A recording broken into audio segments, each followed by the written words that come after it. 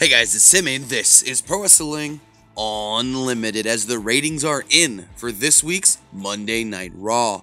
And unfortunately, the ratings fell yet again with Hour 3 actually dropping under 2 million viewers. The show this week averaged 2.133 million viewers. This is down 9% from last week's 2.341 million viewers.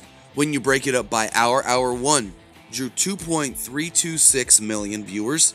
Hour 2 drew 2.146 million viewers, and Hour 3 drew 1.928 million viewers. The only thing we can say is the divorce court didn't do too well with live viewers. Yet, when you look at the digital numbers for this week's Monday Night War, the divorce court segment is one of the better segments they've done on YouTube in a very long time, as that video currently has over 3.3 million views. The second highest video from last night's Monday Night Raw is the Seth Rollins Rowan Falls Count Anywhere match, sitting over 1.1 million views. So again, Monday Night Raw continues to drop in the ratings this week, dropping another 9%.